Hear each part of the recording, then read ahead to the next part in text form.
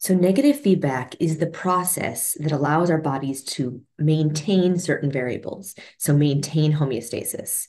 We're going to talk about positive feedback next. That does not directly maintain variables. Negative feedback is the one that's going to allow us to be maintain homeostasis. So it's going to apply to our regulated or maintained variables. So in order to have a negative feedback system, we need to be able to detect changes in our system decide whether we need to respond to those changes, and then actually respond. So that's kind of three basic components that we'll see um, more formalize in just a minute here.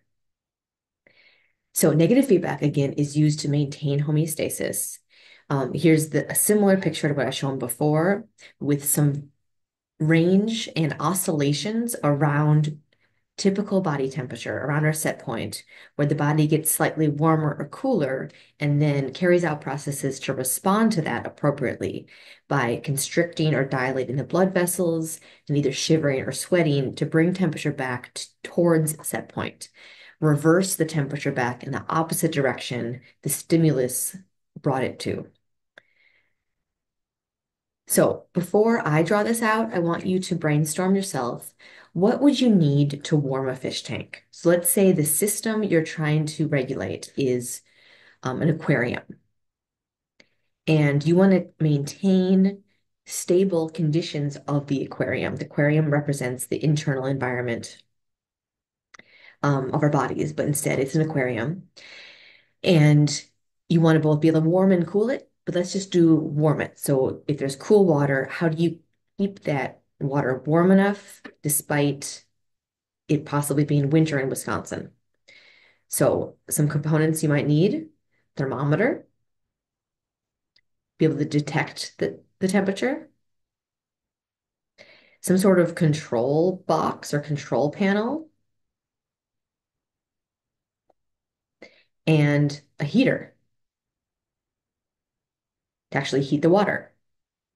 Those are our basic components. Um, so again, let's see this with a little bit more complexity now. So here is an example of an aquarium that's being maintained at the, a set point of 31 degrees Celsius.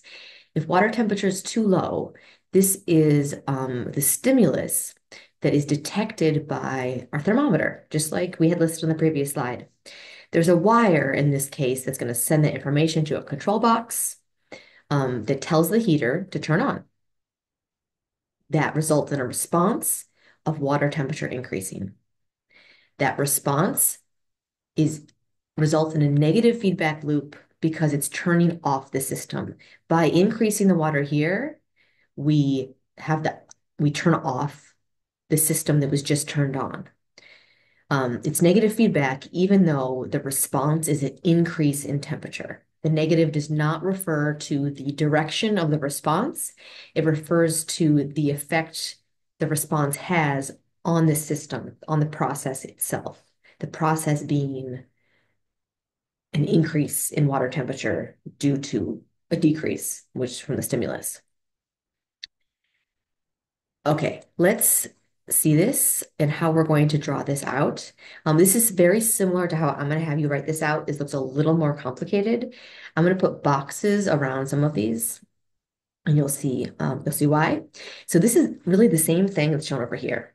Not really much new information here. You already knew the water temperature changing, that's a stimulus, right? That's going to be our initial stimulus. I'm going to put a box around that. Um, the signal is set to the thermometer, which is the sensor also sometimes called the receptor. Many sensors are types of receptors, so I use those as, as synonyms. There is um, the wire, remember, that sends that signal to the control box. I'm also actually going to call this a control center. An integrating center is something that integrates information, takes in information, and makes a decision about what to do about it. That's what a control center is. So you can use either one of those terms. Um, and then we have an output signal, again, a wire in the case of the fish aquarium that, I'm sorry, a box around, I'll come back to that. Um, an output signal is going to target something. The thermometer in this case Um, the thermometer is going to have the response. So I also call the target the effector. It's a thing that's going to have the effect turn on and heat up the water. Um, so I'm going to continue putting boxes around the ones that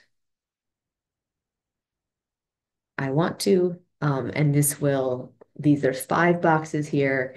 I'm going to go to the next slide and um, draw these boxes again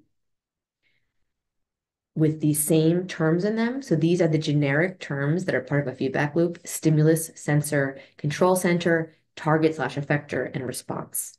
So I'm going to draw those same four, sorry, five again. But we're going to then put in specifics for body temperature instead of an aquarium te temperature. What did I just say those were? Whenever you're doing this, um, actually, I'm going to do this, the generic one, I'm going to put up here. Stimulus, sensor or receptor, control center, target slash effector. This is the one I tend to use both for, and then response. And then basically each of these is leading to the next. So in terms of body temperature, um, we could either do the stimulus being high or low temperature. We could draw out the response in either case. Um, let's do high temperature. So you're too hot, you're working out. Um, the detector of that is called thermoreceptors. Thermoreceptors are special sensors in our body that detect temperature. Um, that signal is going to be passed via a neuron to the central nervous system. So the control center is always going to be um, nervous system or endocrine system. Our control centers, doesn't that make sense? That there are control systems? In this case, it's um, the hypothalamus of the CNS, but that's put CNS is central nervous system. Central nervous system can decide, oh, temperature is off from my set point. Let's send an output signal to what? Well, several several things. Um, one would be sweat glands. What are they going to do? They're going to release sweat to cool the body. Mm that response is counteracting our stimulus and turning off our system. That's negative feedback. Cool, huh? The two components I, that I want to label still, I haven't yet, are these two arrows here. So this is the input signal. That was that first wire in the aquarium. Again, here it's a neuron going to the central nervous system. This is the output signal. Again, in this case, it is in the axon of a neuron coming from the CNS talking to the sweat glands, probably more than one neuron actually, but um, similar to a wire. You can have endocrine system control centers, in which case the output signal is a hormone. Okay, you will see these five box designs a lot. You will draw them a lot. Um, your, your first learning check or your learning check for this one is, is to draw one. So the generic feedback loop, that means without a specific system, um, be able to remember the order of these five things. And I like to draw boxes around them just to be consistent.